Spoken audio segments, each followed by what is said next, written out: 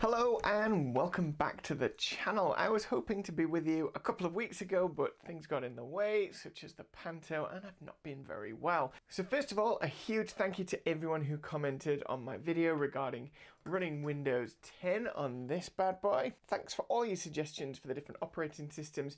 We narrowed it down and released a poll between Linux Mint and Windows 10 Tiny. There are lots of other options, but those seemed good places to start. If my lighting or contrast or anything seems a little bit off, it's because this is the first time I'm using my new camera, so I'm yet to get to grips with everything. So just bear with me. Today, as per the majority vote in the poll, we're going to be installing Linux Mint on here to see if it runs better than Windows 10 and whether we can breathe some new life into this old hardware. While Linux Mint is still in active development, the 32-bit version ceased development back in 2019, so we have to bear in mind that there won't be any updates or security patches from this point on.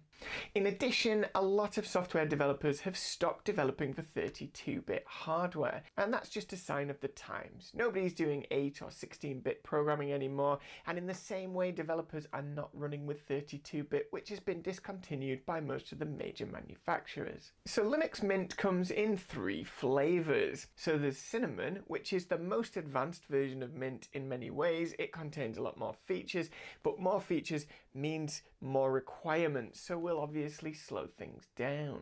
There's Linux Mate, which is a much more stable version of Linux Mint, and it's got lots of features still. And finally, there's Linux XFCE, which is the most cut down version. And it's this that we're going to be trying on the P11Z. And that's to give it the best chance of running well on this first generation 32-bit Atom with 2 gig of RAM. For those of you who are not familiar with Linux, me included prior to making this video, it's worth noting that Linux Mint has a very simple user interface that'll seem quite familiar to anyone who's used Windows. So converting across shouldn't prove too much of a challenge.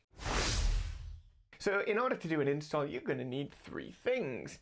You're going to want a Linux ISO, you're going to want Rufus 3.5 and you're going to want a blank USB stick. I put links to the ISO and to Rufus below so they're easy to find. I'm afraid you'll need your own USB stick. Creating the bootable USB couldn't be easier. Simply put your USB stick into the computer, then launch Rufus 3.5. Once you're in, make sure you select the correct USB stick as everything is about to be erased.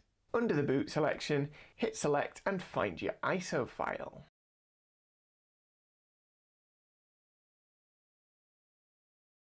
You can rename the USB stick to anything you want, otherwise when you're ready just hit start. You'll be greeted by this pop-up, and this is because Rufus needs a couple of extra files in order to create the bootable disk for Linux. Just hit OK. Once that's done, it'll offer you two output options. It should already have selected ISO. If it hasn't, make sure you select it and then just hit OK. You'll be met by the warning that all the data will be deleted. This is the last chance to make sure you've got the right drive. Hit OK, and now just sit back and wait. It'll take about 15 or 20 minutes, depending on the speed of your USB drive.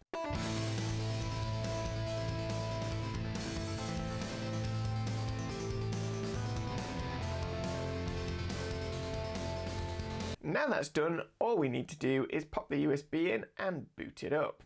The first boot takes a while, and this is because it's actually booting the operating system from the USB stick itself.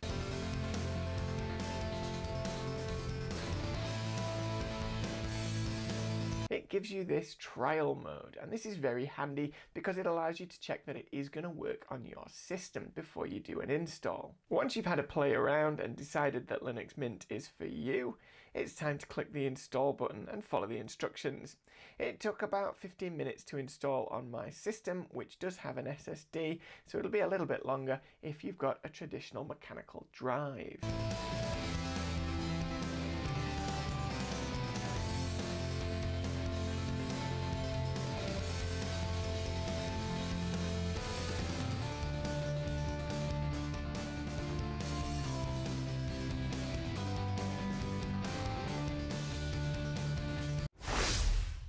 So let's boot this up. And since it's the first time we're booting it, let's see how long it actually takes.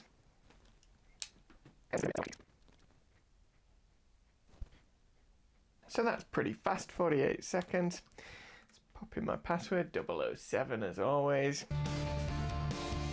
And there we go, everything's loaded. So under a minute and a half.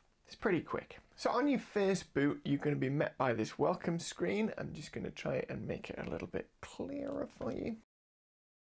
So on boot, you're met by this welcome screen and I would strongly recommend going through the first steps guide. So in here you can take system snapshots and I suggest you absolutely do that as the first thing that you do. Should anything happen after that untoward to the system and I did manage to crash it, then you can simply insert your Linux USB, launch Timeshift and it'll restore everything to how it was. Next up you've got your drive manager.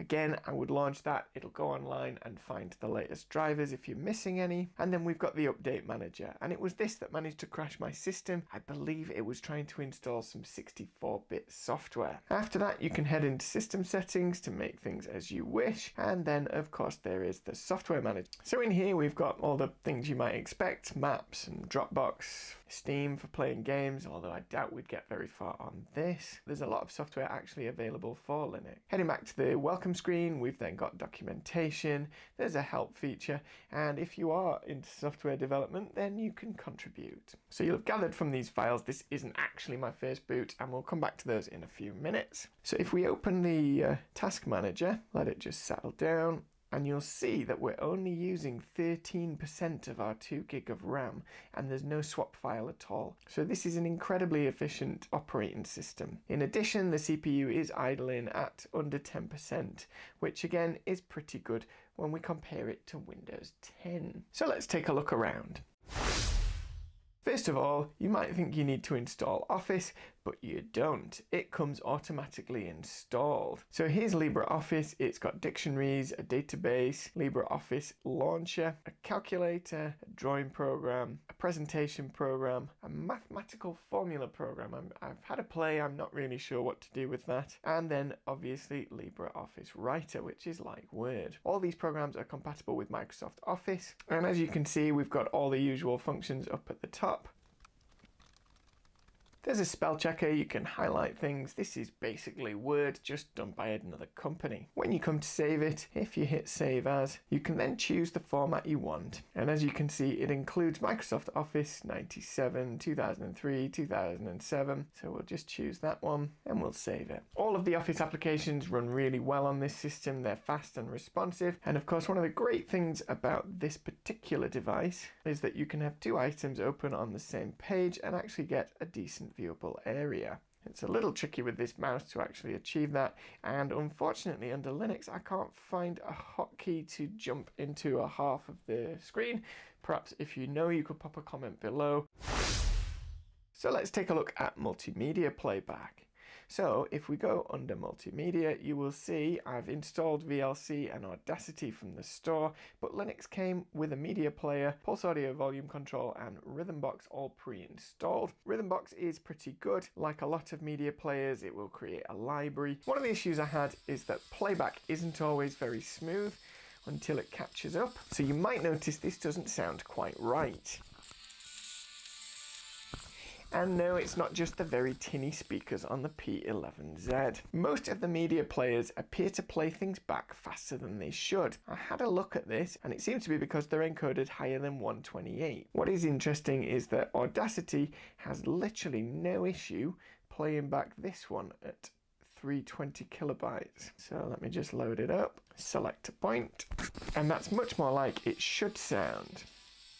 So if I stop that and export it as an MP3, and that should export it into my document. And there it is. So if we play it back again, and yes, it still sounds bad because of the tinny speakers, but it now plays back at the correct speed. So we've sorted out playing back MP3s. When it comes to video, things are not quite as easy as that, and I think a lot of it's down to the pesky GMA 500 that's installed. After a bit of hunting around on the internet, it appears that the Linux kernel does indeed support the GMA 500. However, the GMA 500 has never truly been supported by anyone, and so it's a bit rubbish. So I've tried a few different formats. So this is a WMA file. I'm going to use VLC. So as you can see, the image and the sound aren't quite matching. And when you look, you can see we're dropping quite a few frames. It's just about watchable. Here's a 340p MP4, and this is the normal built-in media player. And yes, it's going to be a bit dodgy because it's only in 340p, so it plays back, but you can see it's glitching constantly. It's not very happy. And if we launch the task manager, you can see that even on this 340 playback, it is still using the CPU and it is maxing that CPU out, which is why we're getting so many artifacts. I did think an AVI might be easier, as generally I've found CPUs deal better with AVIs, but again, we've got the same issue. And as you can see, we're dropping absolutely tons of frames in a 720p AVI. So let's try 340p. So this is just about playable. I don't think we're dropping too many frames. You can see the CPU's not quite maxed out, but it's hardly a multimedia experience. A lot of the things we do on our computers these days are actually done online. In Linux, it comes pre-installed with Firefox, which is actually quite an efficient browser. For light tasks such as looking up news or going on Wikipedia, this is perfectly functional. But what about multimedia heavy tasks? So here's an example of YouTube loading in Firefox versus YouTube loading in Edge on Windows 10. As you can see, under Linux, we're running quite a bit quicker. Now let's find a video and see what playback is like. So as you can see with standard settings, it's a bit glitchy, it's not really watchable. Um, so I'm just going to pause that. We're going to pop it in the lowest resolution we can choose. So, oh, let's not go lowest, we'll do 240p and we'll see what it looks like. So we've still got a lot of dropped frames. I really don't think this device is going to give us any decent YouTube playback. Let's pop a full screen on, see what it actually does. I think it might have a meltdown. So I've seen worse. So if you absolutely had to watch a YouTube video on here, you could, but I'm recommending you just use your phone instead.